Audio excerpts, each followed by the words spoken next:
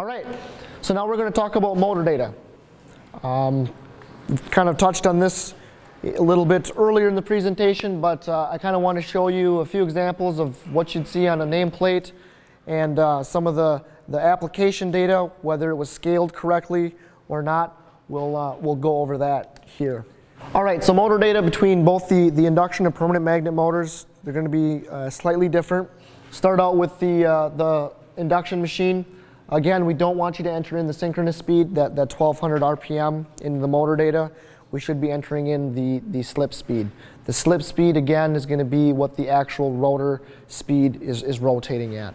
The synchronous speed is going to be the speed at which the, the magnetic field is rotating at.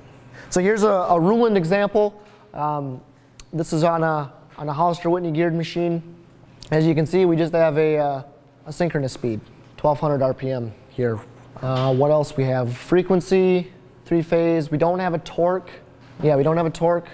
Also, another thing to notice, two sets of motor data, low voltage and high voltage. Uh, again, this is where, you know, if you're in low voltage, we need to make sure that we have the low voltage motor data entered into the drive. Likewise, if you're in high voltage, high voltage data, we can't combine different sets of data together. Uh, that's that's going to cause some, some operational issues. All right, here's another uh, Reuland example. Uh, it's roughly the same, same information here. We've got the dual, dual voltage configuration, but here they provided the, the full load RPM, so 1170.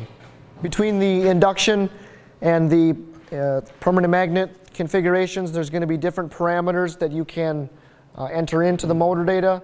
For the induction, you will enter in the horsepower. For the permanent magnet, you'll enter in the torque. And then on the permanent magnet machines, the motor voltage will be calculated a little bit lower uh, after the auto tune. That's because the, the drive is calculating a, a back EMF voltage. Uh, we don't need to change that. I know sometimes people will go back in and, and change that after the, the auto tune. Uh, there's, there is no need to, to change that. This equation again, um, you know, you're wondering uh, if the number of motor poles uh, is correct. Uh, this equation is slightly rearranged. Uh, we just divided by motor poles, multiplied by rated speed over here, but um, it's, the, it's the same equation that we saw earlier. All we're doing is taking the frequency times 120, dividing it by the number of motor poles. Uh, for the most common number of poles, I believe this guy here uh, should be a 44 pole motor. Uh, the, the Hollister Whitney ones should be at uh, 28 or 44, I believe, and then the Torin and the Imperials should be at 20.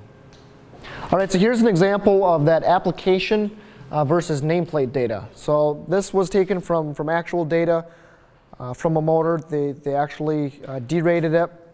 So in one application, the, from the nameplate, they were running at 102, but for this, the new application, they wanted it down to 78. So what did they do? They changed the frequency here. Went from 17 hertz down to 13. Again, number of motor poles remained constant. Motor current remained constant, as well as the power and the voltage. All right, this is another uh, uh, common thing, or I should say, the thing that um, we, are starting to see a little bit more and more of with, with the increased use of, of permanent magnets. Uh, some of the the permanent magnets have a, a very low uh, frequency. I know that the common one is uh, 3.2 uh, with Imperial. I'm not sure if, if Torin has any uh, low ones, but um, actually just had one the other day that I was dealing with. The drive, the KEB drive, has a lower limit of, of 4 hertz that you can enter into the, the drive. So what do you do if you, if you have a motor that's 3.2 hertz? How do you, how do you deal with that? Uh, well, same as what you would do with um, the, the application data, you would just scale it.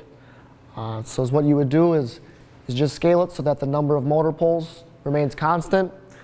You know, in, in the 3.2 hertz application is what we do is we just double the frequency and double the RPM. As long as you apply the same factor uh, to your scaling, you're fine. In this example here is what we did is we just left it at, at 4 hertz, the lower limit. We kept the, the motor poles constant and we came up with a new RPM of, of 24. That's fine, um, is what you can do if you're, if you're worried about uh, reaching contract speed. You can make some machine data changes or you can scale your, your pattern in the controller accordingly. Here's a couple of uh, equations that you can use uh, to figure out the, the torque uh, based on what information you're, you're given.